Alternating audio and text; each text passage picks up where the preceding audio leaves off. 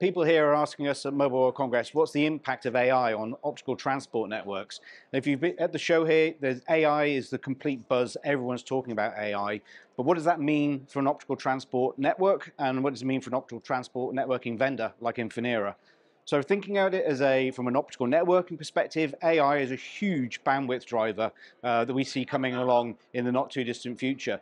Today, AI is driving massive bandwidth inside the data center. We anticipate that in the not too distant future, that's going to spill out into the inter data center networks, which means we're going to see a, big wave of traffic hitting the networks that, we're, building for network operators.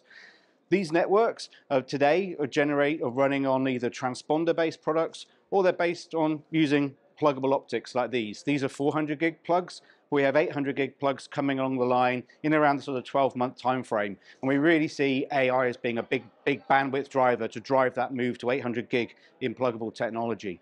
The reason for that is that AI itself obviously needs a lot of processing inside the data center, but it also needs a huge data lake of information to build and understand and build to make the right decisions uh, around the, uh, the information pool that it has. And it, because AI isn't aware, it doesn't really, you know, it can correlate data together, but it doesn't really know, it doesn't have the same insight that a human brain has to correlate things and think, is that right or isn't it right? So to, to have a good response for AI, you need a very, very large pool of very good, high quality data to make your, uh, your, uh, your learning and decisions from.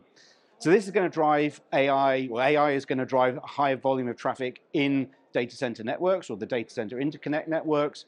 But we also have the opportunity to use AI or really machine learning uh, in that sense of awareness that I just, I just talked about to help network operators optimize the networks they build and to help them understand and manage their networks in the environments we find ourselves today where a lot of network operators struggle to have the manpower or woman power, people power, to actually run their networks.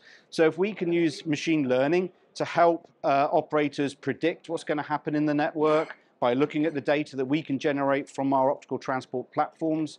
We can help operators to predict what's going to happen. We can then use that information to guide network maintenance and network operation people to give them options for how they may choose to uh, address that particular concern that might be coming down the track, which means we can make people more efficient, but it also means you can lift everybody up to the same level as the, you know, the, the, uh, the most proficient uh, network maintenance or network operation person that a, that a team might have. So it enables us to uh, help people run networks, which in the end will help the end experience for, for end users. And AI is also going to be a big driver of bandwidth itself.